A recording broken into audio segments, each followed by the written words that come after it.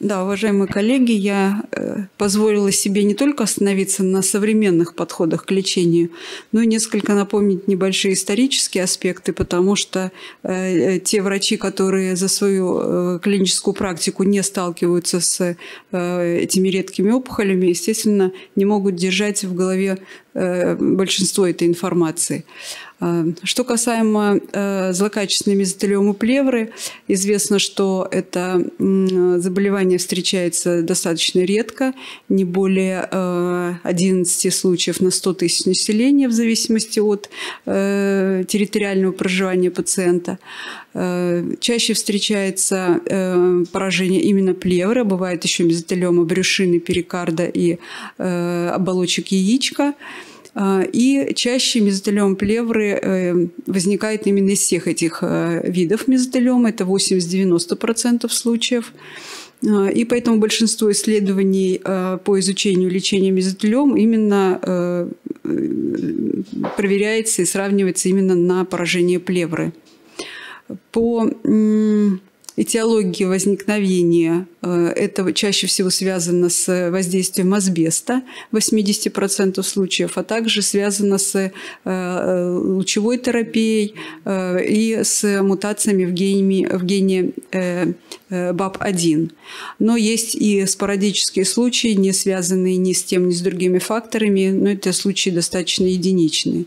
Доказать воздействие асбеста очень сложно, потому что латентный период период от э, контакта с асбестом до возникновения мезотелиома может достигать э, до 40 лет, и поэтому пациент, э, конечно, может и не вспомнить, что у него такой контакт был.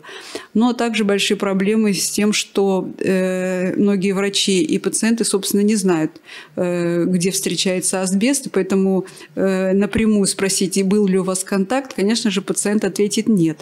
А, но скажу, что асбест широко используется в строительной практике, 80% российского шифера – это как раз при использовании асбеста, а также это в э, машиностроении используется, в судостроении. Ну, достаточно э, широкий профиль его использования. Но мы не будем отдельно касаться э, строения асбестового волокна, потому что это очень большая тема. А, и мы перейдем больше к клиническому течению болезни. У нас никакие Э, клинические проявления не позволят сразу же заподозрить, потому что такие симптомы, как э, одышка, боль в грудной клетке, утомляемость, снижение массы тела, может быть, э, кашель. Эти все симптомы характерны и для рака легкого, и, в принципе, для большинства опухолевых заболеваний. Поэтому ну, как, классически после сбора анамнеза и осмотра пациента в диагностике нам помогают, конечно же, это э, лучевые методы визуализации, это КТ, МРТ, э, ну и обязательно нужна биопсия. Э, после получения биопсийного материала э, мы можем узнать о э, гистотипе опухоли. Это потому что мезотелиома бывает эпителиоидного типа, который чаще встречается около 70-80%, саркоматоидный вариант и смешанный, то есть двуфазный, которые будут более неблагоприятными. Э, стадирование мезотелиома отличается несколько от классического представления э, ТНМ, потому что размер опухоли здесь не имеет значения. Э, нам очень важно узнать, в какие структуры проникает опухоль. Если э, вовлечены в патологический процесс только париетальная и висцеральная плевра, это будет э, соответствовать категории Т1. Если же опухоль уже начинает проникать в ближайшие ткани легкого, диафрагмальные мышцы, то это Т2. В случае, если поражается уже грудная клетка или э, перикард, не трансмуральное его поражение, то это соответствует Т3. Ну, если, соответственно, уже опухоль переходит на противоположную сторону, если идет диффузное поражение грудной клетки или переходит с грудной на э, брюшную полость, позвонки, соответственно, поражает перикард на трансмуральный или миокард, это уже соответствует э, категории Т4. Поражение лимфоузлов э, очень упрощено было в новой классификации. Это будет только N1 и N2, который, собственно, говорит, вышли ли э, эти поражения лимфоузлов э, за пределы э, грудной клетки. Э, это очень важно учитывать э, в, для планирования как хирургического, так и лучевого лечения. Чтобы разобраться, к какой же это стадии относится, тут, в принципе, достаточно Э, ну, такими крупными мазками. Если нет поражения лимфоузлов, это соответствует первой А или Б стадии. В случае, если э, есть минимальное поражение плевры и N1 – это вторая. Если уже есть поражение лимфоузлов и достаточно большая распространенность по плевре, но нет отдаленных метастазов, это третья. Ну и классически при наличии уже метастатических очагов это э, М1, то это четвертая стадия. И отдельной э, графой можно отметить, что плеврит никак не учитывается. Это достаточно большая проблема, потому что у нас, например, были пациенты, у которых был э, полисерозит в виде э, поражения, э, появления двухстороннего плеврита, асцита, но при этом как, как такового субстрата поражения плевры не было. И как ставить э, стадию в этом случае, причем плеврит был доказан цитологически, что он был э, с э, опухолевыми клетками, как поставить стадию в этом случае э, большие проблемы возникают. Но тем не менее наличие плеврита в ТНМ классификации не учитывается. Вторая проблема, помимо э, постановки диагноза, как мы потом будем оценивать противоопухолевое лечение. Дело в том, что отличительной особенностью мезотелиома плевры, э, в отличие от других солидных очагов, является ее диффузное э, поражение утолщения. Это стелящаяся опухоль с наличием множественности узлов, и каждый из этих узелков может иметь свой размер. Поэтому классически померить вот, вот такую вот протяженность, такую пленку достаточно проблематично проблематично. А, также существует модифицированная система оценки эффективности противоопухолевого лечения, и она несколько отличается от РИЦИСТ 1.1, где э, классически берутся сумма наибольших таргетных очагов, которые мы можем измерить, и, соответственно, это будут у нас проявления таргетных очагов. При э, МРИЦИСТ у нас берется сумма перпендикулярных грудной клетки или позвонку диаметров на параллельных трех срезах. То есть у нас, по сути, сумма вот таких трех срезов – это будет всего один очаг, а не три э, разных. И перейдем к каким же у нас вариантам лечения мезотелиома плевры ну, мы имеем, собственно, сегодняшний момент. Э, исторически сложилось, что э, хирургический метод лечения является основным, но не самым главным на сегодняшний момент. Э, в нашем распоряжении бывают две большие опции. Это выполнение экстраплевральной пульмонэктомии и плевректомии или декортикации а также плевродез как хирургический метод локального контроля при рецидивирующем плеврите. И вот различные э, эти объемы хирургического лечения имеют свои как преимущества, так и недостатки, но в целом в случае, если э, пациенту может быть предложено оперативное лечение, оно должно быть предложено, э, потому что убрав основной массив опухоли, мы имеем преимущественно в отдаленных результатах лечения. Однако большинство хирургов говорят, что радикальность этой операции всегда сомнительна, потому что убрать э, всю плевру, да и так, чтобы не было еще и очагов, и сделать опять плевральную полость блестящей и гладкой, это практически невозможно. При сравнении двух этих объемов операций, декортикация или экстраплевральная пульмонэктомия, метаанализ э, за, с 90-х по 2014 года показал, что в принципе они очень э, одинаковые. И медиана выживаемости составляет максимально 21 месяц, и показатель двухлетней общей выживаемости очень схожи, э, лишь с небольшим э, увеличением э, послеоперационной смертности, естественно, при широкой операции, при экстраплевральной пульмонэктомии. Э, что касается плевродеза, то э, существует ряд различных агентов, таких как тальк, блеомицин, тетрациклин, интерлейкины, э, которые имеют свои преимущества и недостатки, но достаточно хорошая эффективность их использования при ведении их внутриплеврально. Позволяет нам достичь контроля за накоплением жидкости до 90%. Следующий вариант лечения – это лучевая терапия – на сегодняшний день было э, два э, значимых крупных исследования. Это имприт и смарт, но которые использовали, применялась лучевая терапия в качестве все-таки комбинированного метода. В исследовании имприт сначала пациентам проводилась химиотерапия, затем в случае получения объективного эффекта либо сразу проводилась операция с последующей лучевой терапией. Если же эффекта не было и пациент оставался все-таки нерезектабельной опухолью, опухолью, то сразу проводилась лучевой терапией. И посмотрите верхние это графики кривые выживаемости. Однолетняя общая выживаемость в случае, если резектабельная, естественно, лучший результат – это 80%, а, и двухлетняя – 59%. И при нерезектабельном процессе однолетняя общая выживаемость – 74%, и двухлетняя – 25%. А, э, очень важно было в данном случае отметить, э, достигался ли объективный эффект.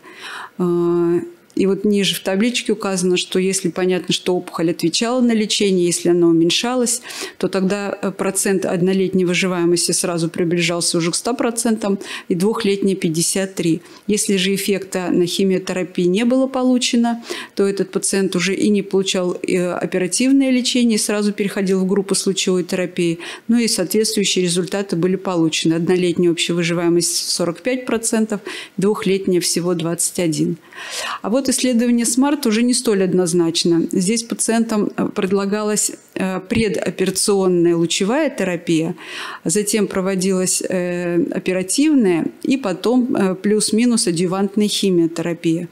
Но к этому исследованию были очень большие вопросы и в качестве воспроизводимости, и в качестве результатов. Посмотрите, что трехлетняя общая выживаемость указана 84%, однако если посмотреть на количество общего пациентов было включено 25, и э, после э, трех лет всего 4 пациента э, прослеженность была, то они никак не могут составить 84%. Так же, как и последующие кривые, в зависимости от э, гистологической формы, э, также вызывает вопрос. Но, тем не менее, э, исследование такое было, э, и результаты Э, изучения лучевой терапии в истории нам лишь э, дали такую возможность получить, что лучевая терапия как самостоятельный метод не может использоваться, он не улучшает эффективность и не увеличивает э, продолжительность жизни пациентов, но в составе тримодальной терапии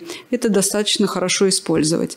Также лучевая терапия может использоваться как паллиативная при обезболивании, при прорастании опухоли в грудную клетку а, и, возможно, возможно как профилактика распространения э, метастатических э, клеток в области после биопсии, но широкого применения этот метод не получил. И мы плавно переходим к следующей, на мой взгляд, как химиотерапевт, основной опции – это возможности химиотерапии. А, исторически, так же, как и в мелкоклеточном раке легкого, за последние 20 лет никаких не было значимых изменений. А, стандартом лечения оставалась схема метрикседа с платиной или же гемцитабином, также с препаратами платинами. На основании исследования Эмфасик с 2003 года, э, когда было сравнение комбинированного режима пиметрикседа с цисплатином по сравнению с цисплатином в монорежиме. И была получена частота объективных ответов 45% с медианной выживаемости без прогрессирования около 6 месяцев и с медианой общей выживаемости около года. А, напомню, что пациенты без лечения э, медиана общей выживаемости около 6-9 месяцев. И вот на основании этого исследования началась, э, собственно, эра пиметрикседа. Uh, С появлением э, таргетной терапии. Также изучались очень многие э, препараты, но единственным э, препаратом, показавшим свою эффективность, оказался бевацизумаб, исследование МАПС, который был добавлен, ну, логично, к существующему стандарту, к режиму пиметриксет с цисплатином, э, что позволило нам э, увеличить медиану общей выживаемости почти до 19 месяцев, с, хотя частота объективных ответов при этом у нас потерялась. И, как я уже сказала, что если пациенту могут быть предложены все три метода лечения, то это, безусловно, будет э, выгоднее для пациентов. Но такой достаточно агрессивная комбинация не у всех всегда может использоваться, потому что мы априори говорим все-таки о пожилых людях. Средний возраст возникновения мезотелиома плевры – это старше 65-70 лет. Но, тем не менее, если мы можем провести индукционную химиотерапию, получив объективный эффект в 45% случаев, затем предложить хирургическое лечение в различных объемах и затем провести еще адъювантную лучевую терапию, то медиана общей выживаемости может быть достигнута от 13 э, до 46 месяцев. А, это э, различные были исследования, различные были химиотерапевтические режимы э, и объем операций. Но, тем не менее, достаточно хорошие результаты. И, наконец, мы переходим, естественно, к новому э, подходу – это иммунотерапия.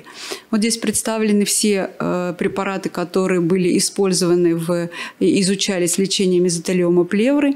И мы остановимся на последних э, комбинации ниволумаб с эпилимумабом, что стало, собственно, предвестником изучения иммунотерапии, потому что экспрессия PDL-1 определяется в 40% в случае мезотелиом, и особенно она наблюдается при саркоматоидном типе, типе, что сопряжено с уменьшением выживаемости. Это наиболее неблагоприятная группа пациентов, которым не может быть предложено хирургическое лечение. Они не отвечают на химиотерапию. И, конечно, э, выживаемость у них достаточно низкая. Э, поэтому большие надежды возлагались именно на иммунотерапию. И вот у нас, собственно, мы э, подошли в ну, к тому, к квинтэссенции, к тому чему-то новому, так же, как и в лечении мелкоклеточного рака легкого. Это исследование CheckMate 743, когда изучалась э, комбинация двух иммунных препаратов НИВА э, и ИПИ, ниволумаб с по сравнению со стандартной химиотерапией. И достаточно были получены э, хорошие результаты, э, показав э, увеличение выживаемости, кривой выживаемости без прогрессирования и частота объективных ответов.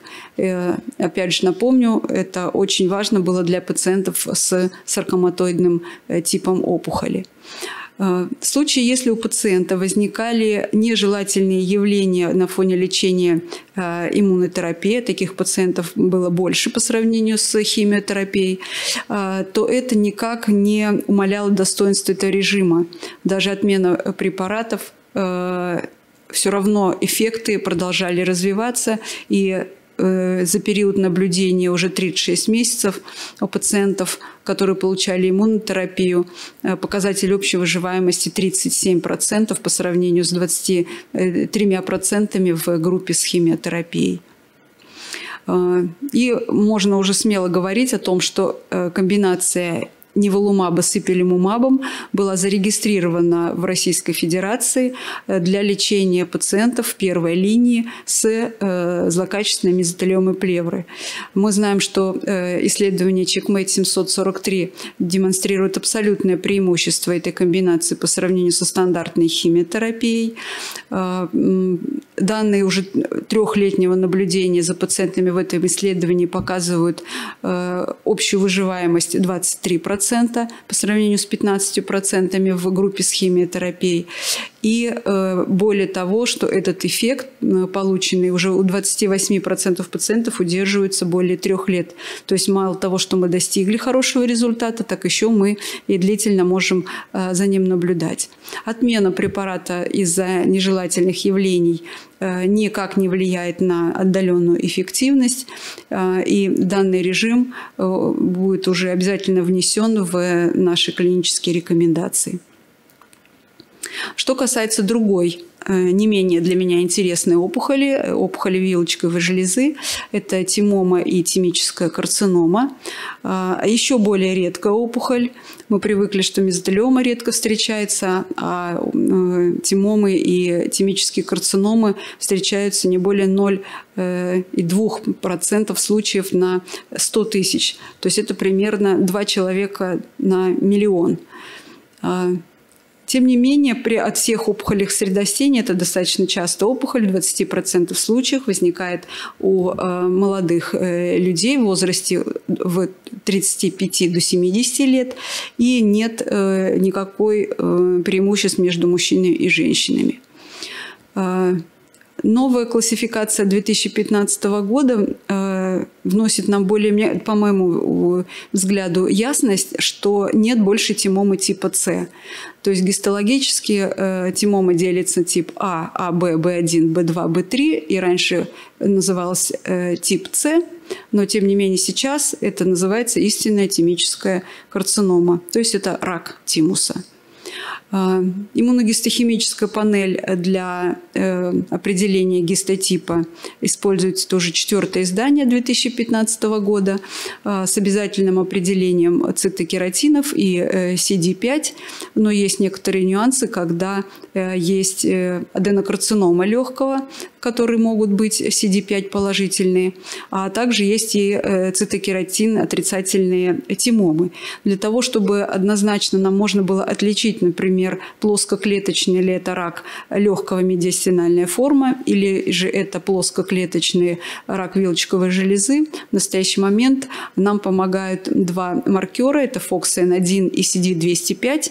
То есть если вы видите гистологическое заключение, которое э, вам не убедил вас, что это именно опухоль вилочковой железы, попросите вашего патоморфолога определить именно эти маркеры. Итак, мы приходим к классификации. А, исторически используется еще с 80-х годов э, классификация Масаука-Кога, которая может быть дополнена ТНМ и GCC классификацией. В чем здесь могут быть подводные камни? А, так же, как и при мезотелиоме плевры, размер э, опухоли здесь не имеет значения, а принципиально в какие соседние структуры опухоль прорастает. В случае, если опухоль э, не выходит за капсулу, то по классификации Масауга-Кога это первая стадия. А дальше имеются небольшие э, разногласия по отношению к ТНМ-классификации, потому что Т1 и 0М0, первая А стадия, это когда идет выход за клетчатку, э, за капсулу в окружающую медиастинальную клетчатку, и 1Б, когда она уже находится с инвазией в плевру. Для классификации Масаока-Кога как раз микро- и макроскопическая инвазия уже будет соответствовать второй стадии, а поражение уже плевры и вовсе переходить на третью. Э, инвазия в перикард Т2Н0М0, вторая стадия по ТНМ и третья А по Масаока-Кога. В случае, если уже имеется инвазия в легкое, в крупные сосуды, в грудную клетку, то это будет Т3Н0М0, третья стадия, и она же будет третья Б по Масаока. И четвертая, в случае, если опухоль а, начинает уже прорастать в пищевод, трахею, миокард, в аорту, это Т4Н0М0, третья Б стадия. И классически, если э, появляются отдаленные метастазы, то это переходит сразу в четвертую стадию. Отличительной особенностью для опухоли вилочковой железы, что э, любая размер, ну, имеется в виду прорастание опухоли, при наличии хотя бы одного пораженного лимфатического узла N1 э, автоматически переводит эту опухоль сразу в четвертую А стадию. Четвертая Б стадия – это когда уже есть э, отдаленные э, очаги в печени, костях или в легких. Итак, основной алгоритм действий в случае, если пациент э, установлен диагноз опухоли вилочковой железы, должен рассматриваться именно вот в такой последовательности. Сначала операция, она может носить либо диагностический, либо сразу лечебный характер. Затем должна рассматриваться, консультация должна быть химиотерапевта об адъювантной э, лечении или первой линии и последующей лучевой терапии. И нам очень важно знать четыре главные э, особенности. Это гистология гистологический вариант опухоли, распространенность, радикальность и сроки. Потому что э, химиотерапия должна назначаться в первые 4 недели после операции, лучевая терапия допустима трех месяцев. И вот мы немножечко, может быть, э, казалось бы, большая таблица, но почему это очень важно знать?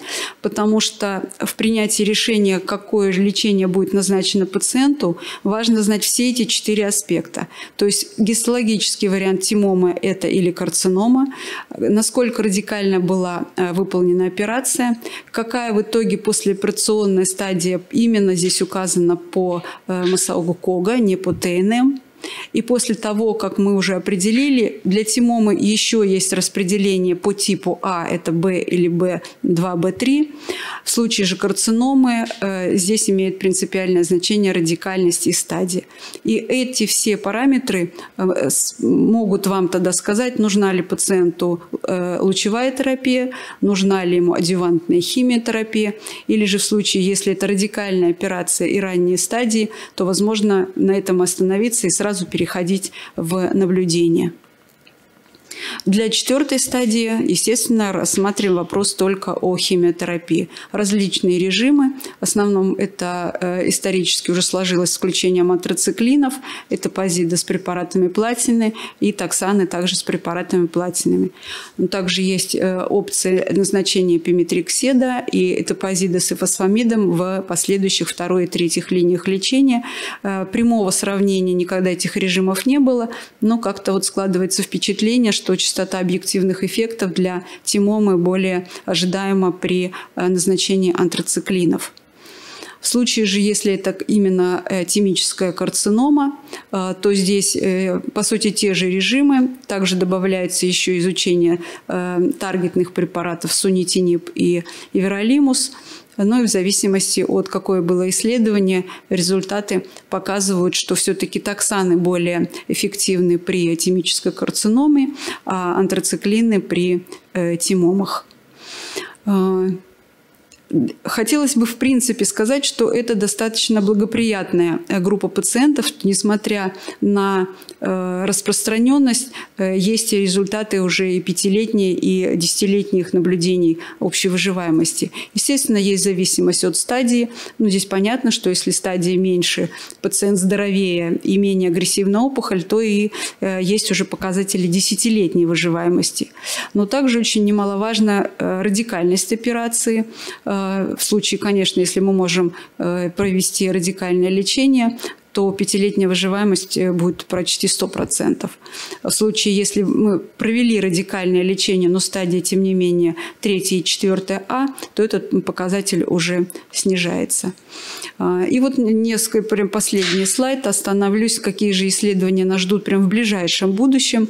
Это исследование, особенно я прям ожидаю, э, китайское исследование э, изучения пембролизумаба в добавлении к режиму поклеточного таксел с карбоплатином, также изучение ниволумаба э, при именно тимомах B3, э, исследование э, пембролизумаба по сравнению с ленвотинибом во второй линии и добавление рамуцурумаба как одного из препаратов, направленных на мишень. Это тоже исследование уже завершено, и мы ждем результатов. Я надеюсь, что прям, может быть, на АСКО или ЭСМО результаты уже будут представлены.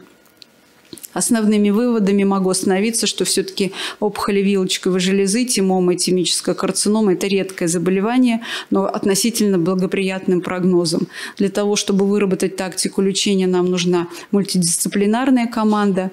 Различные режимы химиотерапевтические, которые у нас есть в арсенале, э, требуют все-таки прямого сравнения. А, и новый поиск, э, нам нужен препаратов для лечения наиболее неблагоприятной группы – это тимома карциномой B3 и тимической карциномой. Спасибо вам за внимание.